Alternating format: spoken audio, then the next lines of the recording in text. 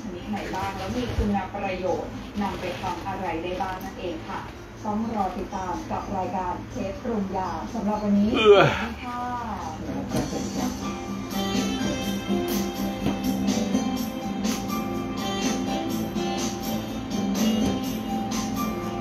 หัวมันพอดี45 ปีปตทจุดพลังชีวิต ขับเคลื่อนอนาคตอมรินทร์ทีวีสายมันดีส สวัสดีครับ สวัสดีครับ สวัสดีครับ คุณมนเทียนแพลวไพไพบูลอ่าสวัสดีครับ คุณชัยนรงค์ทองยิ่งสวัสดีครับ เดี๋ยวทักทาย FC แป๊บหนึ่งก่อนคุณเสริมมุกทะสวัสดีครับ นี่ FC Golden Boy FC สวัสดีครับ เสี่ยบินสวัสดีครับ เสี่ยบิน เมื่อวานนี้เสี่ยอ้าส่งเหรียญวัดหนังทองคำมาให้ดู เดี๋ยวเดี๋ยวจะโทรบอกแกเหรียญพอดีผมไม่มีจะถามว่ามีมีไลน์บอกไม่มีบอกว่าให้ส่งให้ เสียบินวันนี้เขาส่งมาทางข้อความละรังสรรแปดเลยสวัสดีครับ สอนรามสัมสัมมารีเหรอสวัสดีครับ เน็ตสวัสดีครับปิยะสวัสดีครับ อาจารย์ดอยสวัสดีครับ อาจารย์ดอยไว้อาจารย์ดอยนี่สร้างพระเยอะมากแต่อยากในเวลาสร้างพระนี่เข้มขังนะอาจารย์ดอยเนี่ยวันวันไหนมีโอกาสอาจารย์ดอยจัดงานพุทธาพิเศษขอเอาพระไปร่วมพุทธาพิเศษหน่อยนะยิ่งเป็นสายเขาอ้อนี่ยิ่งชอบเลยอาจารย์ดอย เขาส่งมาแล้วใช่ไหมแต่ดูไม่เออใช่รูปมันไม่ชัด แต่ดูคร่าวๆนะ น่าจะไปไม่ถึงดวงดาว ดูคร่าวๆแล้วนะอันนี้ไม่แค่ดูคร่าวๆนะว่าไม่น่าถึงไม่น่าถึงดวงดาว เพราะว่าหน้าตาเพี้ยนนะครับสวัสดีครับ ก็สวัสดีทุกคนนะพัดคนไหนไม่ทักไม่ทายคืออ่านไม่ออกนะครับสวัสดีครับเฮียหนุ่มนะเฮียหนุ่มสวัสดีครับอ่าวันนี้เราก็มาดูเครื่องรางของขลังกันนิดๆหน่อยๆ ซึ่งหลายคนเคยดูไปแล้วแหละนะครับ ก็ รับลบลบบองตรงนะอย่าว่างั้นเนี่ยสวัสดีครับคุณชาลิตลบเอฟลบเพื่อนเก่าที่ไม่เคลื่อนไหวไปเยอะนะครับนะลบลบไปเยอะแล้วก็พวกไร้สาระเนี่ยนะครับ พวกไร้สาระพวกไอ้ไม่มือไม่พายเอาตีนลาน้ำพวกเนี้ยผมก็ลบไปเยอะนะครับนะ แต่ก็รับเข้ามาเยอะก็ถือโอกาสให้โอกาสเอ่อเพื่อนเพื่อนใหม่ ๆ ก็แล้วกันนะครับ เพื่อนเพื่อนใหม่ ๆ เข้ามาเข้ามาดูนะครับไอคนที่ เอ่อเป็นอยู่กับผมเป็นเพื่อนเป็นพักพวกเนี่ยมันต้องจริงใจนะครับ อืมนะดินดีมากครับ ครับอาจารย์ดอยขอบคุณมากล่วงหน้านะครับ ขอบคุณล่วงหน้าอาจารย์ดอยจัดพุทธาพิเศษกบ่อยพระสายใต้เนี่ยผมเคยเอาเอาเหรียญที่ผมสร้างเนี่ย ไปเข้าพุทธาพิเศษกที่นครศรีธรรมราชวัดหลวงพ่อคล้ายเคยไปนะครับวัดเขาวัดเขาอ้อเคยไปครั้งหนึ่งแต่แต่ตอนนั้นไม่ได้เตรียมอะไรไป แล้วก็วัดดอนศาลา นะมีเกจิโหเก่งๆ หลายๆ องค์เลย มาพุทธาพิเศษกนะ อาจารย์ประสูติรัตน์ในเตาก็มาตอนนั้นโอ้โหเยอะมาก ที่วัดดอนศาลาตอนที่เขาทำเหรียญอาจารย์นำย้อนยุคร้อยปีหรือไงเนี่ยนะครับร้อยแปดสมาสวัสดีครับพิชาติประจินนะคนที่ดูแล้วก็ดูไปนะครับ ก็ไม่ต้องไม่ต้องสนใจ เคยที่ดูอะมันเราขี้เกียจคุยเยอะโบมารวยสวัสดีครับเฮียต้อไม้โอ้โหไม่ต้องผมขอไปไปเอาขอเอาขอเอาของร่วมพิธี เพราะว่าโดยมากของที่ผมเอาไปเนี่ย ผมจะไว้บูชาติดตัวครับท่านอาจารย์อาจารย์ดอยนะครับ เพราะของผมเนี่ยไม่เคยขายอยู่แล้ว หรือว่าถ้ามีการเอาไปแบ่งเนี่ย แบ่งเนี่ยผมก็จะจะให้คนเนี่ยได้ของดีๆไปใช้นะครับผมไม่ได้ขายแพงแล้วก็ไอ้ไอ้ไอ้แบบอาจารย์นำไอ้แบบไอ้เหรียญหลวงพ่อทบหรือพ่ออะไรพวกเนี้ยพวกพระใหม่ๆเนี่ยนะบางทีผมเอาไปเข้าขอร่วมพิธีอะไรเงี้ยแล้วมาจริงๆ ผมก็ขายองค์ไม่กี่พันบาทนะไม่ได้ขายแบบดุเดือดแล้วพระแพงๆผมก็ไม่เอาไปเสกหรอก แล้วพอเวลาเราความอันนี้คือความจริงนะเวลาเราแบ่งพระให้ใครไปเนี่ย เออเราเราเรารู้สึกเราภูมิใจว่าเขาได้พระที่มีผ่านพุทธาพิเศษ เช่น จะบอกให้ฟังนะไอเหรียญหนุมานออกศึกหลวงพ่อพรมเนี่ยวัดขนอนเหนือเนี่ยที่คนเช่าจากผมอันนี้ผมลูกศิษย์ก็ไม่ถือว่าสายหลวงพ่อพรมเหมือนกันนะนะไม่โกหกแม้แต่นิดเดียวนะต่อต่อหน้าหลวงพ่อพรมเลยเนี่ยเนี่ยต่อหน้าหลวงเนี่ยรูปรูปหลวงพ่อพรมอยู่นี่เนี่ยแป๊บหนึ่ง เนี่ยต่อหน้าหลวงพ่อพรมเลยเนี่ยเนี่ยนะครับ รูปนี้ทันนะครับ ทันนะครับ ทันนะครับ เหรียญหนุมานออกศึกอะที่อยู่กับผมที่คนเช่าๆไปเนี่ย ผมเอาไปเข้าพุทธาพิเศษอีกตั้งหลายๆ ครั้งรู้ไหมซึ่งจริงๆหลวงพ่อผมนั่นเสกมาทีเดียวก็ใช้ได้แล้วนะครับ แต่เวลาอยู่กับผมเนี่ยผมก็ไปเข้าพุทธาพิเศษเพราะฉะนั้นคนที่ได้เหรียญผมไปเนี่ยนะอย่ามันคือเราเราก็ไม่รู้ว่ามันจะศักดิ์สิทธิ์เพิ่มหรือเปล่านะครับ แต่ว่าผมก็ให้สติคนไหว้อ๋ออันนี้เรื่องส่วนตัวของเขาครับ นะ คนที่ได้ไปเนี่ย คุณภูมิใจได้เลยสวัสดีครับ ลูกบางประกงสวัสดีครับ ภูมิใจได้เลยนะ เอาไปเข้าพุทธาพิเศษอะเพิ่มนะหลาย ๆ ครั้งเลย เพราะฉะนั้นคนที่ได้ไปเนี่ยนะคนที่ได้ไปเนี่ยควรน่าจะภูมิใจว่า เออเฮ้ยเหรียญนี้เว้ยอย่างน้อยที่สุดในฮิสเซวัดหนังแกก็ไปเข้าพุทธาพิเศษจริงๆนะยิ่งเหรียญหนุมานออกศึกไอ้หนุมาน หลวงพ่อประเทืองที่ผมสร้างนะปลุกเสกเป็นร้อยๆครั้งนะจะบอกก่อนปลุกเสกเป็นร้อยๆครั้งร้อยกว่าครั้งนะใครที่รู้จักผมดีจะรู้ว่าเวลาผมทำเนี่ยโอ้โหผมเสกกันแบบน้ำไหลไฟดับเลยเนี่ยเออแล้วก็ขอประชาสัมพันธ์นิดนึงก่อนนะครับ วันที่ 9 เดือน9นะครับ9เดือน9อ่าในเดือนหน้าเนี่ยสิงหาเนี่ยนะหลวงวัดจุกเชอนะฮะจะมีการปลุกเสกเหรียญสารพัดเจริญนะโดยพระเดชพระคุณท่านหลวงพ่อช้างวัดจุกเชอนะน่าจะเสกเดี่ยวนะครับเหรียญรุ่นนี้ เป็นที่ต้องการของคนเยอะนะคนจองไปหมดแล้วนะมันหมดตั้งแต่หมดไปแล้วนะหมดไปแล้ว ก็ใครว่างนะครับ ก็ขออนุญาตเชิญชวนไปร่วมงานพุทธาพิเศษนะหลวงพ่อจะเสกให้เต็มที่เลยได้มาได้คุยกับหลวงพ่ออยู่แล้วนะครับ ผมอะติดต่อคุยกับหลวงพ่ออยู่เรื่อยๆนะครับเหรียญนี้ใครได้ไว้บูชาเจริญแน่ครับเจริญเพราะหลายสารพัดเจริญเหลือเกินนะครับอ่าแล้วก็พระเดชพระคุณท่านหลวงพ่อช้างเนี่ยท่านตั้งใจทำแบบตั้งใจมากๆเลยนะ แล้วก็ จจากรุ่นนี้นะครับ รุ่นต่อไปคาดว่านะครับน่าจะน่าจะเป็นเหรียญรุ่นพระอ่อพระอุปชานะฮะเหรียญรุ่นอุปชาแต่ว่ายังไม่มีกำหนดการ เดี๋ยวต้องรอฟังข่าวจากหลวงพ่ออีกทีนะครับสวัสดีครับเฮียจูดนะเฮียจูดสุราษฎร์นะครับเจ้าของเหรียญพ่อเพชรนะครับ เจ้าของเหรียญพ่อเพชรสวยงามอันแชมป์โลกเนี่ยเคยผ่านมือเฮียจูดแกเป็นคนขายออกมานะฮะแล้วก็หลายๆเหรียญเหรียญแม้แต่เหรียญของคุณชลินสงขานะเฮียจูดสุราษฎร์นะ คุณอนัทเนี่ยก็เป็นคนขายออกมานะก็ทำให้ผมได้ครอบครองเหรียญพระเพชรเกาะพังงานที่สวยที่สุดณปัจจุบันเนี่ยอยู่ในความครอบครองของผมนะครับก็ขอบคุณเนี่ยจูดเป็นอย่างสูงที่ทำให้ผมได้เหรียญพระเพชรเหรียญนี้มาครอบครองนะครับ ครอบครองดีใจมากครับ มีผู้หลักผู้ใหญ่เนี่ยมาขอซื้อหลายคนนะครับ แต่ก็ยังไม่คิดจะขายนะครับ ไม่ใช่ว่าตัวเลขไม่ได้นะ ตัวเลขมันพอใจอยู่แล้วนะครับ แต่ผมก็คุยหลายคนนะครับ บอกเฮียตัดสินใจดีๆก่อน นะเฮียก็ไม่ได้เดือดร้อนตังอะไร อันนั้นก็ก็ส่วนหนึ่งนะครับส่วนหนึ่งนะครับแต่ขายไปแล้วเนี่ยเฮียจะหาไม่ได้อีกแล้วนะครับ เพราะว่ามันเป็นที่สุดของที่สุดแล้วสำหรับเหรียญนี้นะเป็นเหรียญ champ of the champ นะวันดีอารันนะมันเป็นเหรียญ champ of the champ นะครับแต่ถ้าเหรียญรองๆเนี่ยผมยังมีอันหนึ่งนะสักสามล้านห้าเนี่ยใครสนใจนี่รอผมคุยได้ เพราะว่าผมเก็บแล้วก็อยากจะเก็บให้สุดนะครับ อ่านะมาเรามาดูพระดีกว่านะใครไม่ว่างไปทำงานก่อนวันดีแบงค์ท่าประจันทร์นะวันนี้เราก็จะให้ดูเครื่องรางของขลังนะซึ่งเคยโชว์ไปแล้วสำหรับ FC ใหม่ก็แล้วกันนะครับ ก่อนอื่นดูนี่ก่อนเลยนะครับ หลายวันก่อนเนี่ย ผมลงพระชัยเบ้าแตกวัดหนังองค์หนึ่งนะครับ ซึ่งองค์เนี่ยเป็นพระหน้าใหม่ของวงการนะผมแบะได้มาจากพี่พี่เล็กสวนผักสวัสดีครับอาจารย์นะสวัสดีครับ พี่ยศไกรจันทวงศ์นะครับ อ่าจันจันจันจันทะลงงใช่ไหมเป็นพระหน้าใหม่ของวงการวันนั้นผมแค่ลงรูปให้เฉยเฉยๆยังไม่ได้ยังไม่ได้ไลฟ์เดี๋ยวในใจไลฟ์ดูนะครับอะให้ดูเลยดีกว่า แล้วก็คุยไปคุยกันไปนะครับ ไม่ใครว่างดูมาดูไม่ว่างดูอย่าดูนะนี่อ่าเนี่ยนี่ครับ พระชัยเบ้าแตกวัดหนังนะครับนะครับ พระองค์นี้นะพี่เล็กสวนผักเนี่ยเอามาแบ่งให้ผมนะครับ เอามาแบ่งให้ผม นะครับเป็นพระที่ไม่ได้ผ่านการใช้เลยนะครับนะแต่ว่าเวลาหล่อเนี่ยเป็นธรรมชาตินะพระหล่อก็จะต้องมีรูมีอะไรมั่งนะครับนะครับเนี่ยมีรูตรงแก้มนิดหน่อยแต่ไม่เป็นไรนะครับ เป็นพระชัยวัดของหลวงปู่เอี่ยมเนี่ยมีหลายรุ่นนะมีทั้งโคนต้นจันทร์เขื่อนเล็กเขื่อนใหญ่ เนื้อดำเนื้อเหลืองนะครับ เบ้าแตก แต่ผมพูดแบบใจจริงนะไม่ใช่ว่าผมนั่นนะ ถ้าผม รักมากๆก็คือเบ้าแตกนะครับเพราะเบ้าแตกนี่เป็นพระที่มีประสบการณ์สูงมากนะครับ แต่อย่างอื่นก็ศักดิ์สิทธิ์นะเขื่อนเล็กเขื่อนใหญ่เขื่อนดำเขื่อนเนื้อเหลืองอะไรเนี่ยศักดิ์สิทธิ์ทั้งนั้น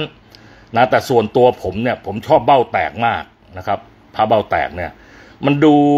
เทอะทะดูแบบไม่ค่อยสวยแต่มันดูแล้วมีพลังอะนะ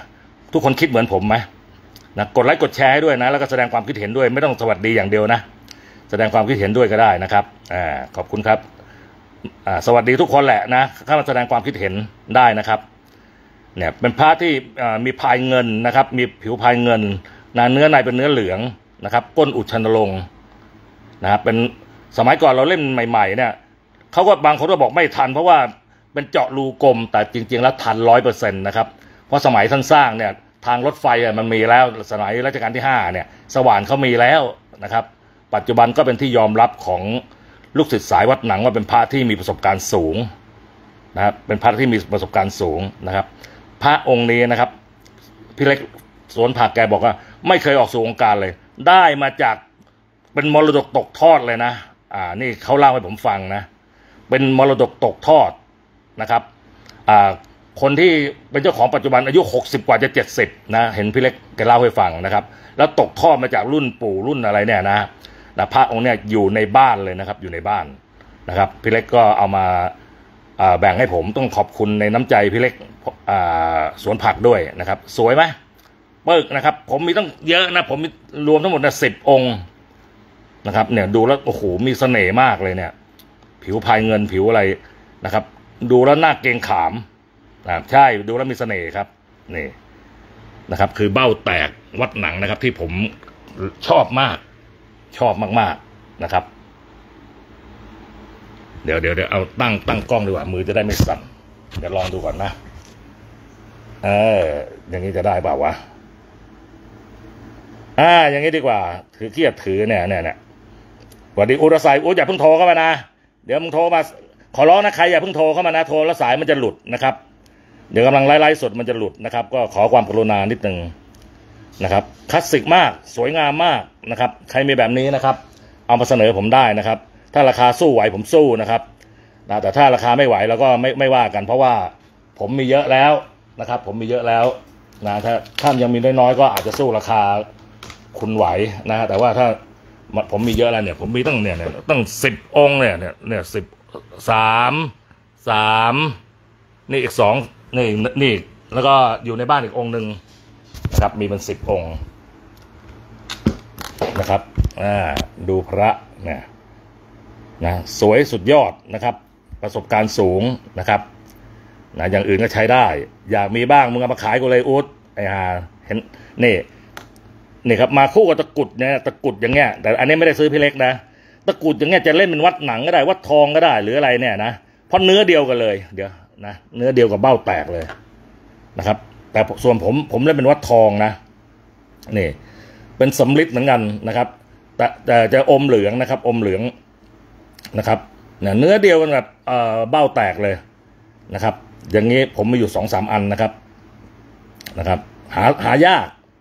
หายากนะครับ แต่ปัจจุบันเนี่ยถ้าเป็นของใหม่ที่ใช้ได้ผลนะครับหลวงพ่อหลวงพ่อช้างนะท่านทำขึ้นมาอยู่ชุดหนึ่งนะครับ ท่านทำเกินชุดหนึ่งลองไปติดต่อท่านได้นะครับ ท่านทำมาชุดหนึ่งเข้มขังนะครับหลวงพ่อช้าง เวลาท่านทำท่านก็ผสมชนวนมวลสารของท่านนะค่อนข้างเยอะนะครับ แล้วท่านก็ปลุกเสกอย่างดีนะครับ นี่คือตะกุดอ่าส่วนตัวเนี่ยผมเรียกว่าวัดทองแล้วกันนะ แต่ใครจะเล่นเป็นวัดไหนก็แล้วแต่นะครับ ผมถืออักขระเลขยันที่ผมศึกษามานะครับ ก็ค่อนข้างจะเป็นการ ผมว่าวัดทองได้ได้นะจะจะเล่นวัดหนังก็ได้วัดทองก็ได้นะครับอ่ากดไลค์กดแชร์ด้วยนะเนี่ยชอบสวยไหม สวยนะสวยกดไลค์กดแชร์ด้วยนะครับ อย่าชมเฉยๆนะครับนะผมถือว่า FC ที่เข้ามาดูเนี่ยนะเป็น FC ที่ว่านั่นนะ แต่ถ้าไม่มีการเคลื่อนไหว ผมก็ไม่รู้จะเก็บเก็บไว้ทำไมนะครับไร้สาระบางทีนะหน้าเฟซผมแม่งเต็มเต็มแล้วนะบางทีผมก็ต้องไล่ลบโอเคนะครับอะเครื่องรางผมมีไม่เยอะหรอกครับมีมีไม่เยอะอะสำหรับ FC ใหม่นี่นี่แหละคือสุดยอดตะกุดแห่งแผ่นดินนะครับ นี่ หลวงปู่เอี่ยมปฐมนามนะครับวัดสะพานสูง นะครับ ดอกนี้ชัดเจนนะครับ ดอกนี้ชัดเจนนะครับ อยู่ในหนังสือท่าพระจันทร์ด้วยนะครับ สมบูรณ์มาก สมบูรณ์มากนะครับ เครื่องรางผมมีไม่เยอะหรอกครับนี่หลวงปู่เอี่ยมนะครับ เขียนไว้เลยนี่วัดสะพานสูง อืม วัดสะพานสูงนะครับ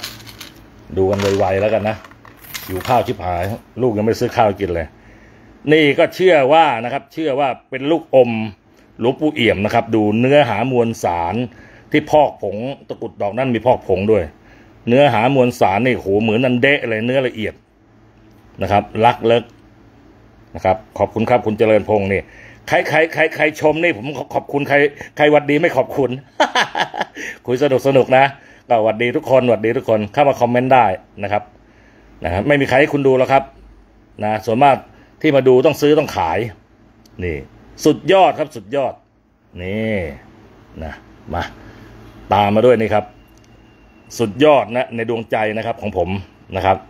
ใช่เข้ามาคอมเมนต์เลยครับ เข้ามาคอมเมนต์หมากวัดหนังครับลูกนี้สมบูรณ์มากอยู่ในหนังสือวัดหนังนะครับอยู่หนังสือออที่หมึกท่าประจันทำร่วมกับหม่อมอภิเดชนะครับ ลูกนี้ ลูกนี้สมัยก่อนผมซื้อเฮยโกวัดลาดมานะครับ ตอนที่แกยังมีชีวิตอยู่นะครับ สวัสดีครับทอมสามย่านสวัสดีครับสุภาสวัสดีครับ สุสุภาเลยไหมนี่ ชัดเจนครับ ชัดเจนนะ อืมเนี่ยหมากหมากวัดหนังนะครับ หมากดีที่วัดหนังครับ หมากดีที่วัดหนัง ส่วนอันนี้เป็นตะกุดตะก้อนะครับหลวงพ่อเปลี่ยนวัดใต้ชัยชุมพลชนะสงครามนะครับนะเป็นตะกุดเงินถักเป็นรูปตะก้อนะครับ ตะกุดดอกนี้เนี่ย ผมได้มาจากพี่เพชรท่าประจันนะเซียนเหรียญนะถ่ายอยู่ในหนังสือของพี่เพชรท่าประจันด้วยนะฮะพี่เพี่เพชรบอกว่าไปได้มาจากบ้านคนดังเมืองการเลยแล้วกัน แต่ขออนุญาตไม่เอ่ยชื่อแล้วกันนะครับอ่าเป็นเป็นตกตกทอดมา สวัสดีครับ คุณทอมสัญญาณสวัสดีครับอ่าคุณทอมสัญญาณนี่ก็พระเยอะนะพระดีสวยๆมีจานนะครับมีจานมีจานแล้วก็ตะกุดดอกเนี่ยมีใบลานด้วยนะมีใบลานซ่อนอยู่ นี่นี่เดี๋ยวเดี๋ยวผมดูนะใบลานอยู่ไหนวะนี่นี่นี่นี่นะครับ มีใบลานนะครับ ใบลานใส่อยู่ข้างในนะครับจารจะมาจารอักขระนะมะพะทะนะฮะสี่มุมอะโอเค ผ่านไปอย่างไวนะครับ ส่วนลูกนี้นะครับสำหรับ FC ใหม่นะใครเก่าไม่อยากดูผ่านไปนะครับ นี่ครับ ลูกสะกดหลวงพ่อเนียมวัดน้อยครับนะมีตาเบนนะครับ มีตากากบาทนะลูกนี้นี่ เป็นลูกที่มีประวัติศาสตร์ดีมากนะชัดเจนนะครับ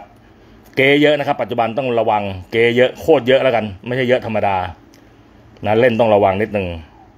นะครับนี่ลูกนี้ชัดเจนนะเดิมทีลูกนี้เป็นของท่านผู้ใหญ่คนหนึ่งเลยแล้วกันนะครับอ่าตอนนี้มันมาอยู่ในความครอบครอบครองของผมเนี่ยเกินยี่สิบห้าปีแล้ว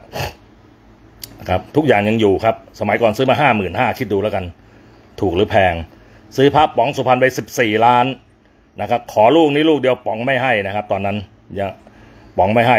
สุดท้ายต้องยึดมาเลย แล้วก็บอกกูเอาแล้วกูไม่คืนมึงละลูกเนี่ย แล้วก็ค่อยบอกราคามาป๋องบอกห้าหมื่นห้าเขียนเช็คไปเลยจบย้อนหลังไปยี่สิบกว่าปีก่อนนะซื้อพระป๋องก็เยอะแยะนะองลูกนี้ลูกเดียวป๋องไม่ยอมให้นะเพราะลูกนี้มันเป็นลูกประวัติศาสตร์นะครับ เคยลงอยู่หนังสือ ลานโพเล่มเก่าๆแล้วเล่มตั้งแต่สองบาทสามบาทสี่บาทห้าบาทเนี่ยนะครับ ลานโพนะเป็นลูกประวัติศาสตร์นะครับนี่อีกหนึ่งหนึ่งลูกประวัติศาสตร์นะครับ อีกหนึ่งลูกประวัติศาสตร์นะเบี้ยแก้นะครับ เบี้ยแก้ ไม่ว่างคุยครับไลฟ์สดอยู่ครับจะเอาอะไรเอาอะไรแป๊บนึงเออแป๊บนึงว่าต้องกินข้าวไหมยังไม่ว่างไลฟ์สดอยู่เนี่ย เนี่ยเบี้ยแก้หลวงปู่รอดวัดนายโลงนะครับนะลูกนี้เป็นเบี้ยสังนะเห็นชัดเจนนะเป็นเบี้ยสังนะเบี้ยสัง โทษครับนะลูกนี้เดิมทีสมัยก่อนนะผมแบ่งมาจากท่านนายกสมาคมพระเครื่องพระบูชาไทยนะอ่าพี่ยับนะหรือคุณพยับคำพันธ์นะครับ แบ่งกันมาสมัยก่อนหกหมื่นบาทนะพี่ยับบอกว่าลูกนี้ ก็ดะท่านได้มาจาก พี่ลิใหญ่ทองถนอมนะพี่เขาเรียกลิใหญ่นะครับเลี่ยมแต่ก่อนเลี่ยมเป็นกระเช้าถักลายฉลุเลยนะครับ ถักลายฉลุตอนนี้ทีละแล้วตอนนี้มันผมไม่อยากให้เหงื่อเข้า ผมก็เลยมาทำเป็นตลับใบนี้นะครับ เป็นตลับทองตันๆเลยนะครับนี่เอาไว้ใส่นะครับ เบี้ยอันนี้ ชัดเจนนะครับ ดูลายถักลายอะไรเนี่ยนะครับ กดไลค์กดแชร์ไปด้วยนะครับ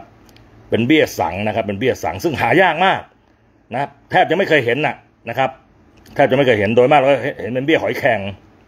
ผูกความเก่าความอะไรนี่ สุดยอดอ๋อรู้ได้ยินครับบ้านมีดีได้ยินก็มีคุยกับน้องๆอยู่น้องคุยเขาบอกว่า แน่แต่ว่า ผมศรัทธานะแกดังมาก บ้านมีดีเนี่ยแกอาจารย์ทวินเนี่ยซึ่งเป็นอาจารย์ผมเนี่ยก็เป็นลูกศิษย์ของอาจารย์เที่ยงนะผมไปสั่งเพราะอาจารย์ทวินมานะเป็นลูกศิษย์ร่วมสำนักเดียวกับนันหนวดแดงนันท่าประจันนะนะ นะครับ แล้วก็มาตามมาเนี่ยอีกลูกหนึงปูรอดเหมือนกัน แต่อันนี้เป็นเบี้ยหอยแครงนะครับ เบี้ยหอยแครงเนี่ยดูลายถักเนี่ยจะมีถักกลางเนี่ยถักกลางเนี่ยเส้นใหญ่นะครับถักกลางเส้นใหญ่นะเบี้ยปูรอดนะเขาจะมีลายถักเนี่ย จะมีถักเส้นกลางเส้นขั้นเนี่ยนะครับบางคนเขาดูกันแบบนี้นะนะส่วนตัวนี้นี่นี่โอ้โหนี่ทองนะครับเนี่ยเนี่ยเบี้ยสังนะครับ อืมนะคุณคุณคุณเมียโทรมาเดินมาตามไปกินข้าวแล้วเนี่ย นะครับนี่สุดยอดไหมสุดยอดกดไลค์กดแชร์ด้วยนะ แสดงความคิดเห็นให้หน่อยครับ แสดงความคิดเห็นหน่อยไม่ต้องหวัดดีอย่างเดียวนะครับ อ่ามานี่ตามไปด้วยพิษสมรนนะครับ พิษสมรลูกนี้ใหญ่หน่อยนะครับ แต่เก่าแท้แน่นอนนะครับ เก่าแท้แน่นอน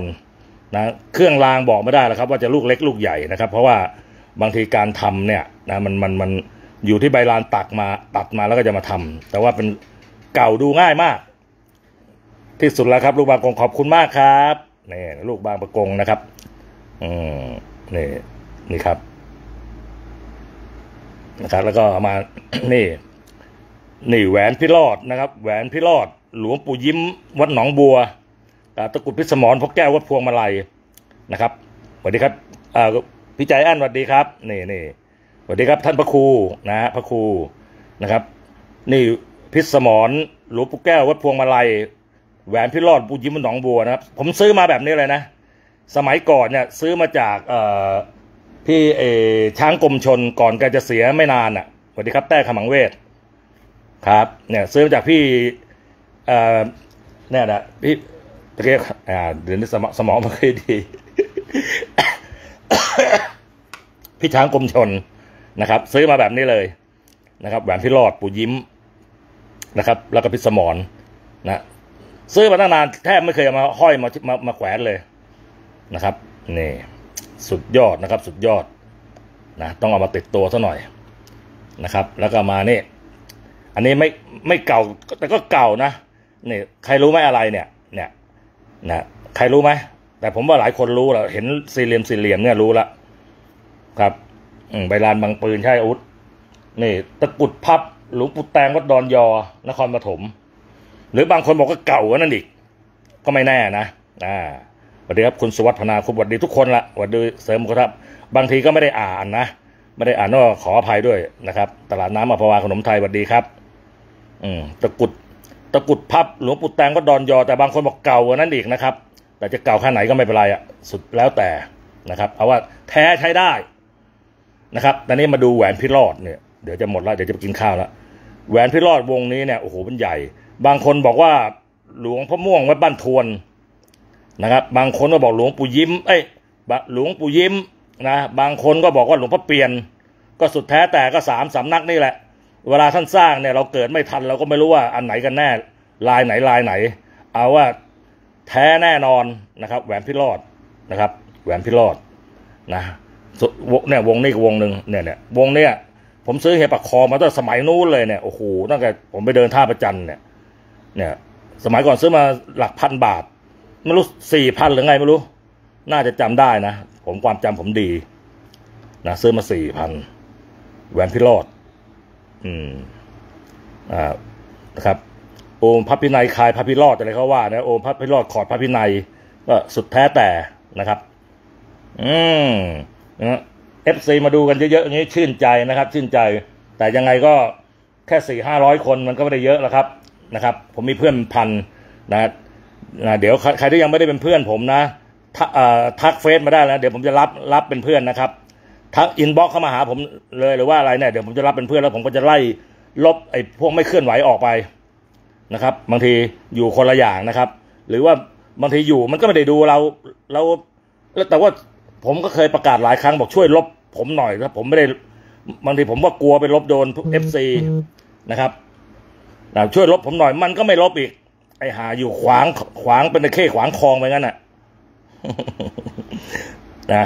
ช่วยลบหน่อยนะครับ ที่ใครไม่ได้เป็นเพื่อนผมอะบล็อกผมไปเลยก็ได้นะครับ ชัดเจนนะผมจะได้รับเพื่อนเพิ่ม นะครับอ่าโอเค เดี๋ยวได้เวลาไปรับประทานข้าวแล้วกินข้าวดีกว่านี่นี่นี่ดูอีกครั้งหนึ่ง สุดยอดของเขาเหลียงซาน รูปไม่ค่อยชัด เดี๋ยว ขยับก่อนอืมเอาเท่าที่เอาเท่าที่ไหวแล้วกันนะ อืมนี่ สุดยอดนะครับ ใครที่ไม่ได้เป็นเพื่อนผมทักอินบ็อกเข้ามาได้นะ ผมรับเป็นเพื่อนนะครับ แต่ขอขออย่างเดียว รับเป็นเพื่อนแล้วก็ขอให้เอ่อมีจิตใจบริสุทธิ์นะครับ รับเป็นเพื่อนดูพระฟรีนะครับ ไม่ใช่ว่าจู่ๆว่าเอาพระผมไปหลอกซื้อตัวขายใครไม่เอานะเออผมรับทั้งทั้งนั้นแหละครับ รับทั้งนั้นแล้วผมจะได้ไล่บล็อกออกไป เพราะบางคนผมก็ไม่ได้ดูนะครับ ผมก็ลบลบลบลบลบนะครับ เพราะว่าบางทีเพื่อนมันเต็มนะแล้วจะจะรับใครจะซื้อโซลบก็ไม่ได้นะครับ เดี๋ยวถ้าผมรับไหวผมจะรับนะครับ จะรับเพื่อนเพิ่มนะครับ อ่านะส่วนนี่วันนี้ก็แหวนนี่ผ้าผ้าคิริ้วยิงไม่ออกแน่วันนี้ให้ให้ดูจะชัด เหรียญเงินนะ อุปชฌาย์คำวัดสนามจันทร์นะครับนี่เป็นเหรียญดีเหรียญดังเมืองแปดริ้วมาเนิ่นนาน เกจิปลุกเสกหลายองค์นะครับ หลายองค์เป็นเหรียญที่มีประสบการณ์ค่อนข้างสูงนะครับ ผมมีเหรียญทองแดงเยอะ หลายเหรียญเหรียญเงินมีอยู่สองเหรียญ นะครับเหรียญนี้เคยลงอยู่หน้าปกลานโพด้วยนะครับนะเก๋เยอะนะครับ ซื้อต้องระวังนะครับ เป็นเหรียญดีดูแลวขลังมากเลยนะนะอุปชฌาย์คำพระอุปชฌาย์คำพรหมมัสสุวรรณนะผมมัสสุวรรณใช่ไหมสุวรรณโนป่ะสุวรรณเฉยๆนะครับ อืมสุดยอดนะ สุดยอดอะเดี๋ยวคุยกันนิดนึงจะไปกินข้าวแล้วนะครับ ประชาสัมพันธ์นะครับ อย่าลืมนะครับ วันที่เก้าเดือนเก้านะ เวลาเก้าโมงนิดหน่อยนะฮะเก้าโมงนิดหน่อย วัดจุกเชอนะครับ จะมีการปลุกเสกเหรียญรุ่นสารพัดเจริญโดยพระเดชพระคุณหลวงพ่อช้างเนี่ยเป็นประธานองค์ปลุกเสกน่าจะปลุกเสกเดียวนะครับ หลวงพ่อนั่งองค์เดียวว่าขลังไม่รู้จะขลังยังไงละนะครับ ของดีครับของใช้ได้นะครับ ของดีๆ ไม่ต้องไปลองนะครับนะของดีๆเก็บเก็บไว้ใช้ประสบการณ์มีแน่ครับ ขอให้เกิดขึ้นกับตัวนะครับ เกิดขึ้นกับตัว ผมเนี่ยลองมาเยอะละนะครับ ลองมาก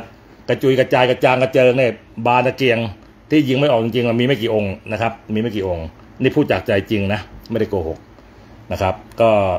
ติดตามมันไปนะครับ ติดตามไปนะครับนะใครที่ยังไม่ได้เหรียญ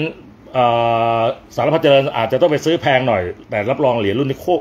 ถ้าผมใช้แบบภาษาบ้านๆนะโคตรสวยนะ และความขลังเนี่ยผมเชื่อเลย ว่าหลวงพ่อช้างนั้นทำอะไรนะท่านทำจริงนะครับนะผมรู้จักท่านมาก็หลายปีแล้วนะ วลาท่านนั่งปลุกเสกนะโอ้โหนั่งนิ่งเลย